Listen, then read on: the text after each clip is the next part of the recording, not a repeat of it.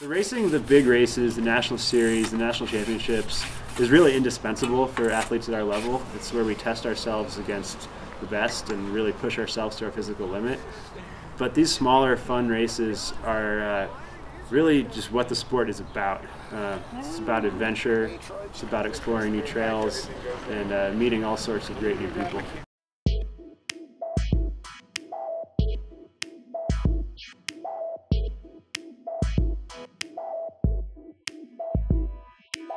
So the best of both was uh, an idea that I had about 10 years ago, riding with groups of road bike riders, mountain bike riders back in England, guys that didn't necessarily cross disciplines, so they didn't have a, a, love for what each other did, but equally they're part of the cycling community. And if you ask them to choose, they'll choose very defiantly which one they love. But you know, how do we put them together and make it something that's more of a kind of fun community thing and build an experience around it too? There we go, the start of Best of Both.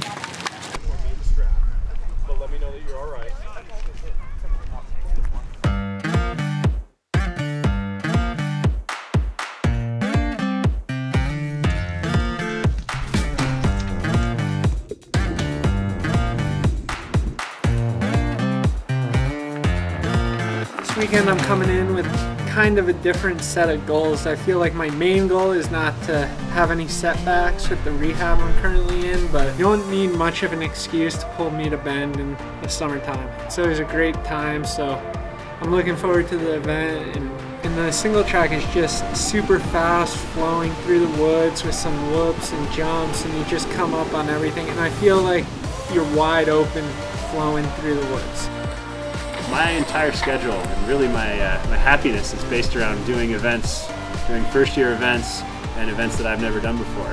And uh, every year at the end of the year I, I uh, gauge my year by how many of those I do. And now I'm here for this event that's a first year event, first time I've done it. And as far as I know, it's the first road bike, mountain bike duathlon that anybody's ever put on. I've been racing for about 10 years and I've never heard of an event like this where I have to jog in my cleats and switch bikes. So it's going to be a lot of fun.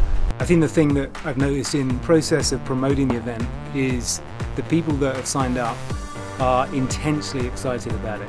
But I think I'd like people to think about, well, people to, to enjoy it on the basis really that it's fresh and it's unique, um, it's something different, it's something that's challenged them. Um, and ultimately, we want those people to come flooding back next year too, uh, where we can refine it and evolve it based on their feedback.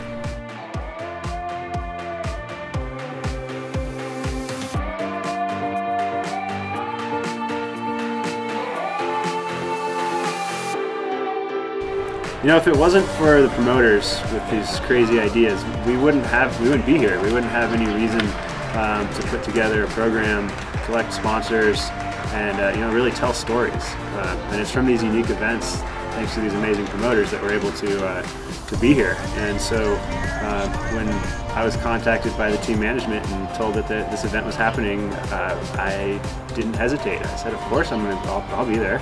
Uh, this, this sounds great. This sounds like an amazing community event. I, I want to be at these events because I want there to be more of these events.